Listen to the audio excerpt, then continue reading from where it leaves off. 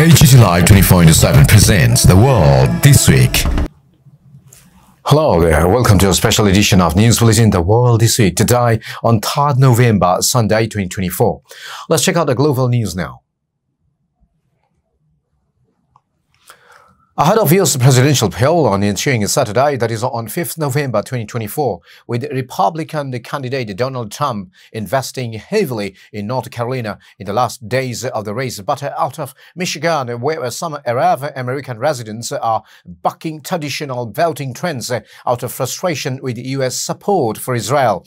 Democratic presidential nominee Kamala Harris made an appearance on the sketch comedy series Saturday night live in New York City, along alongside the actor who portrays her on the program, Maya Rudolph. It was the latest uh, in a continuing streak of celebrity crossovers for Harris, who rallied earlier in the day in Charlotte, North Carolina, with rock star Jon Bon Jovi and R&B singer-songwriter Khalid. Republican candidate Donald Trump, meanwhile, was squeezed a rally in blue-leaning Virginia between two events in neighboring North Carolina. It was the start of a streak for Trump in North Carolina, where he will be campaigning until Election Day. Trump used his evening rally in uh, Greensboro, North Carolina, to take credit for declining trust in U.S. media, and he tailored his anti-immigrant message to non-white communities in the U.S., saying they could become majority migrant. Robert F. Kennedy Jr. meanwhile suggested Trump had agreed with his proposal to remove fluoride in a compound used to strengthen teeth from tap water in the U.S.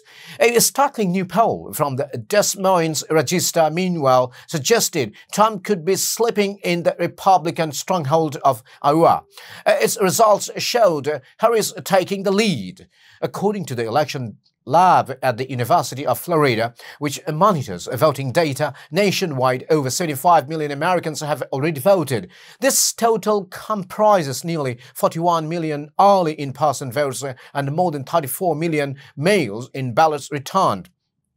Meanwhile, Kamala Harris holds a narrow lead over Trump in Iowa, and with polls uh, showing her at 47% to Trump's 44%, highlighting a competitive race in this traditional Republican state.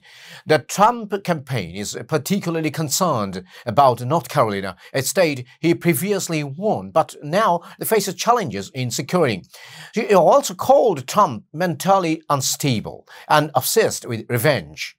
Election night will see results unfold as polls close from east to west. Early voting and pre-processed mail-in ballots could allow up to 40-70% of Georgia's votes to be counted by 8 p.m. A losing North Carolina could significantly hinder Trump's path to the necessary 270 electoral votes for re-election.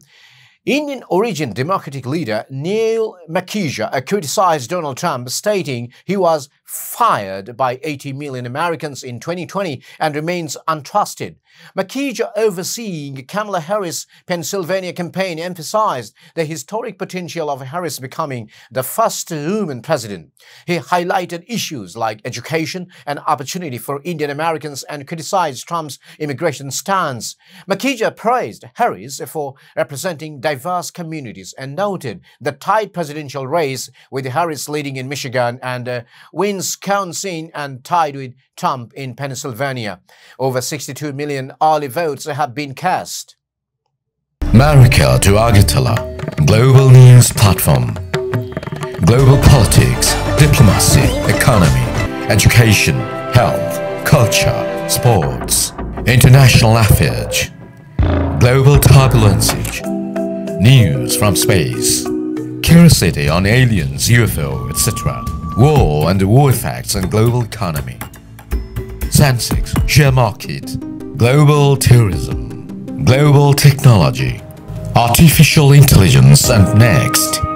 You are watching AGT Live 24/7 on YouTube, Facebook, WhatsApp, Instagram, Telegram, Twitter, etc. Fashion, fair, future, and lot more. The world this week.